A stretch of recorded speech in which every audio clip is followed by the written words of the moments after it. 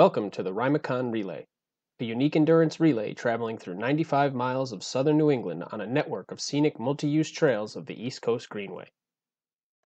Today, we are talking about leg 6, the last leg before starting another team cycle, a nearly 9-mile net downhill leg with the first part of this running on the Air Line Trail and then finishing along the streets of Thompson and Putnam. Exchange 6 takes place in Rotary Park along the Putnam River Trail where entertainment awaits. You are now a third of the way through the route.